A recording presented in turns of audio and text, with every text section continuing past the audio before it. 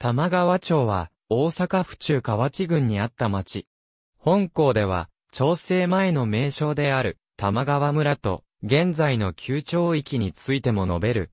大宗町村制施行前の旧村名を継承した、菱江、稲葉、西岩田、岩田町、雨竜道に該当し、東大阪市立玉川中学校の学区にあたる。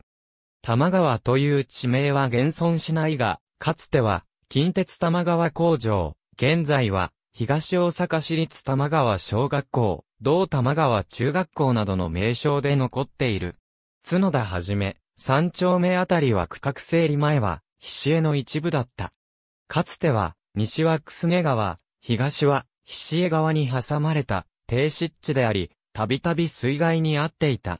反面、土地は肥沃で農業が盛んだった。1704年に大和川の川違いが行われて、菱江川跡地は菱や東新田として開発された。地域内はおおむね平坦である。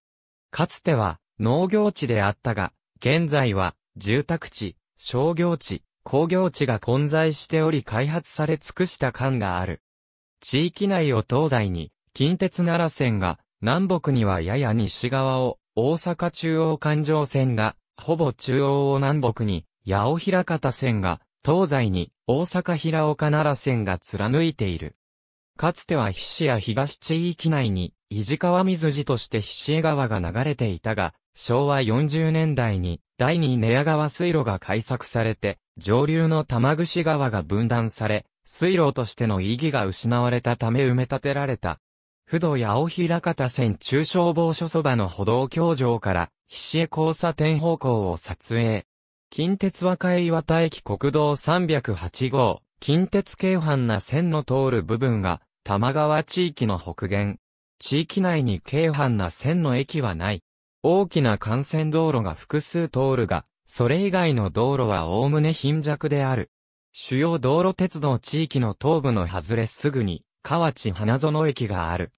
第二寝屋川に接する最西端からは、八戸の里駅が近い、旧、雨竜道村の地域にあたる。主な施設、旧石旧西岩田村の地域にあたる。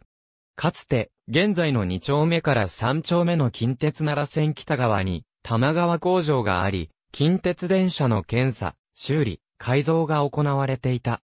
当初は、八戸の里側に引き込み線があったが昭和40年代に大阪中央環状線が敷設されるのに伴い、和歌岩田側に変更され、近鉄線は高架となった。